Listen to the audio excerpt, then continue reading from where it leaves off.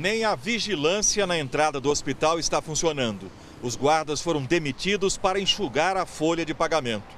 Aqui dentro, os cestos de lixo estão transbordando. Tem até material contaminado no chão. A prateleira de insumos e remédios ficou vazia. Dos quatro elevadores, só um funciona. A lavanderia parou. Acompanhantes trazem a roupa de cama. Tá faltando lençol para trocar e o lençol dela já tá precisando trocar. Eu tive que vir aqui agora para trazer. Falta o básico para o atendimento. Insumos em geral. Chega um, falta outro. Quando chega um, o outro falta. Ambulâncias estão paradas porque não há quem faça o transporte com as macas. Cirurgias foram suspensas. Minha mãe teve quatro AVC e etc. Maca passa e tudo. Não conseguiu ser atendida ainda. Bom, tá lá, mas operar não. Iraci veio pela quarta vez tirar os pinos da perna operada. Vai voltar para casa com eles. Remarcou para um dia 30 agora, né? Para ver o que, que vai dar, né? O Hospital de Urgências de Goiânia é administrado por uma empresa privada paga pelo Estado.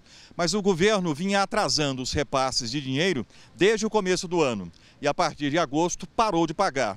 A dívida hoje está em torno de 54 milhões de reais. Até os médicos estão sem receber.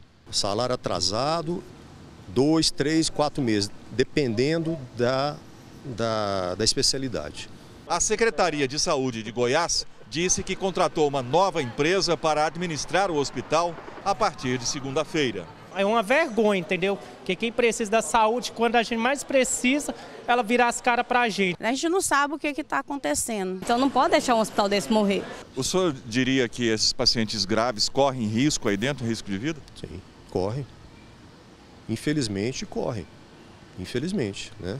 Porque os médicos fazem o que têm em mãos. Nós precisamos de condições de trabalho. Né? Todo médico precisa de condição de trabalho. Médico não é Deus, médico não consegue fazer milagre.